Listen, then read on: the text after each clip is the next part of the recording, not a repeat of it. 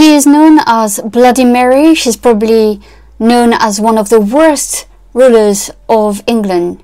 Mary I of England has a very bad reputation, and mostly because of her marriage with Philip II of Spain, but also because of her persecution and execution of Protestants during her short reign from 1553 to 1558. In this Once Upon a Woman video, I would like to recess her reign.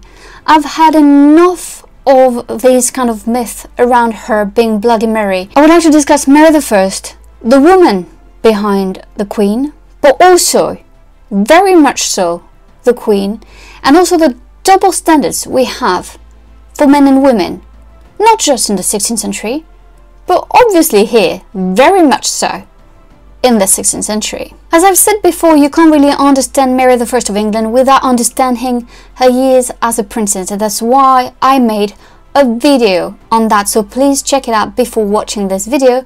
It will give you more context to understand Mary I of England, the woman behind the Queen. Now I'm going to talk about a delicate topic. I'm going to talk about the persecution and execution of heretics and Protestants in Europe in the 16th century. I need you to take into account that while we try to understand something, a phenomenon, it doesn't mean that we justify it.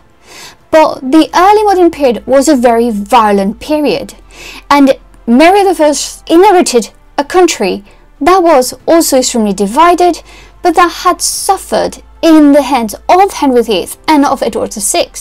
Henry VIII had persecuted heretics, Catholics, and Protestants, and her brother Edward VI had persecuted Catholics. And we know how important Catholicism was for her. When she became queen in 1553 and re-established Catholicism, she had to erase in her mind heretics and Protestantism. Now, when I say that, it seems like very harsh and very awful. At the same time, I need you to remember that is exactly what any other Catholic monarchs in Europe were doing. She was not more bloody, she was not more awful, she was not more tyrannical. None of this applied at all. If anything, when we look at Mary's reign, yes, she burnt at the stake 300 Protestants over the course of five years. It can be shocking, but when we look at the numbers, we see that there's also a decline. We see that probably if she had lived longer, these numbers would have dropped because Catholicism would have been completely reestablished, and I don't think she would have continued to persecute Protestants. First of all, they would have fled, or they would have been dead, right? Fair enough.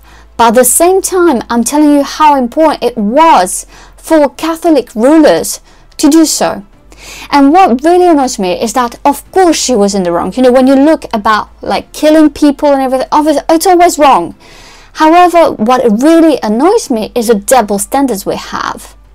And that's where I'm going to talk to you about Francis I and Henry II of France and how they treated Protestants and how they were not called Bloody Francis or Bloody Henry, but were seen as kind of good and benevolent kings. In the reign of Francis I, there was a court that was established for the trial of heretics so it was a very special court. It was called La Chambre Ardente. We can translate it by the fiery chamber. They were first instituted in the Parliament of Rouen in 1545. The numbers of heretics in prisons in Normandy awaiting trial was so great that the prisons could barely contain them. That's why the special chamber was created and Francis made sure to persecute, prosecute and execute Protestants. Two years later, Francis I died and Henry II became king. He took the throne and he thought that these chambers were very efficient and continued to use them. He used also the Parliament of Paris and tried to have similar courts everywhere in France.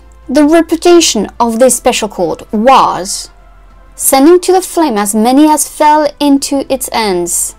So basically here, there were so many Protestants burned at the stake during the reigns of Francis I and Henry II. Though Henry II is going to eventually stop this court because it got out of hand and many people were dying, he's still not kind of the type of man who was tolerant and he still fought Protestantism as much as he could. And here we have a very strong parallel between Mary I of England and Francis and Henry II of France who are doing the exact same thing and yet they don't have the bad reputation that she had. But now we'd like to talk to you more about Mary I herself. Mary I's bad reputation also stems from the fact that she decided to execute her cousin Lady Jane Grey. However, I would like here to really look at what happened and I would like to recommend the magnificent book Crown of Blood by Nicola Tallis. In this book, we see that Mary I really tried not to execute her cousin. She takes you in the last chapters of her book where really we see the struggle and how much Mary is not enjoying it. But what I found really fascinating is that at the end, when there's no other way for Mary, because she knows that Lady Jane Grey will represent a threat to her, it's not just Lady Jane Grey, it's the father, is the fact that there are some Protestants that are still fighting her. You have to remember that Mary I had to fight to get her throne. You have to remember that after years of being humiliated, after years of being mistreated at her father's court, she was not that well treated during her brother's reign, but worse than that, they tried to change the line of succession and they tried to remove her birthright.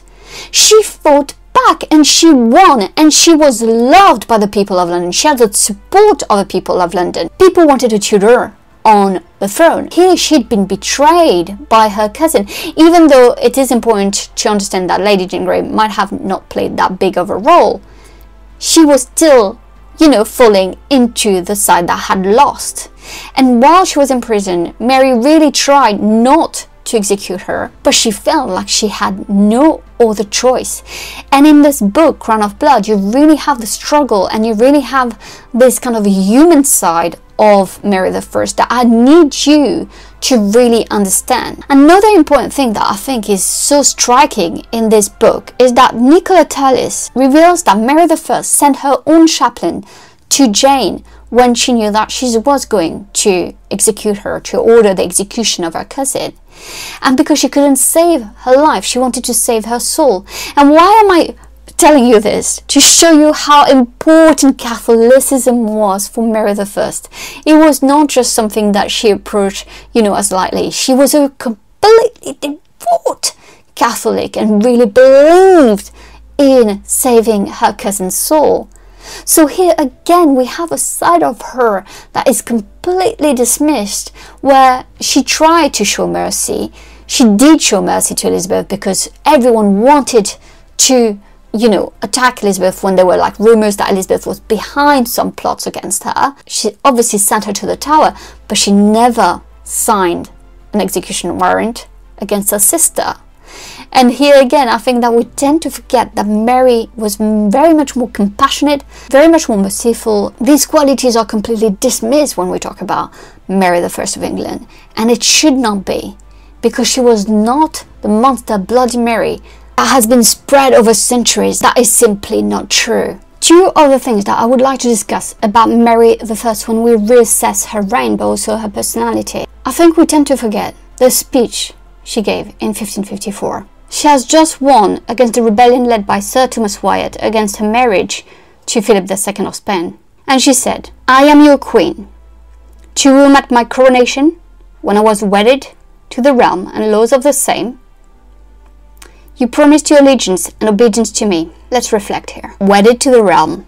Very interesting word because this is something that Elizabeth is going to use sometimes again in her own speeches. But Mary is the first saying that, that she's wedded to the realm of England. She's devoted to be a good ruler for the English people. And I said to you, on the word of a prince, prince here is a neutral term, it's not female or male, so that's very important not to jump on that term. I cannot tell how naturally the mother loves the child, for I was never the mother of any. But certainly, if a prince and governor may as naturally and earnestly love her subjects as the mother does love the child, then assure yourselves that I being your lady and mistress, do as earnestly and tenderly love and favour you. This is a brilliant speech. But here again, she's the wife and mother of England, regardless of her own marriage to Philip II of Spain. And I think that is brilliant that she gave that speech, that she should love to her people. This is something that we completely forget when we talk about Mary I, and that is not right. She showed completely devotion to England, she showed completely devotion to her people. She's talking about motherly love, which Elizabeth is also going to use because I believe Elizabeth was in the audience and saw what her sister was doing successfully. Now, when we reassess Mary I of England's reign and rule, I also want you to understand how much she suffered.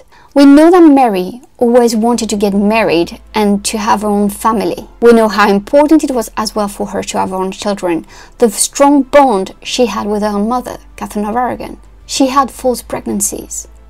She barely saw her husband.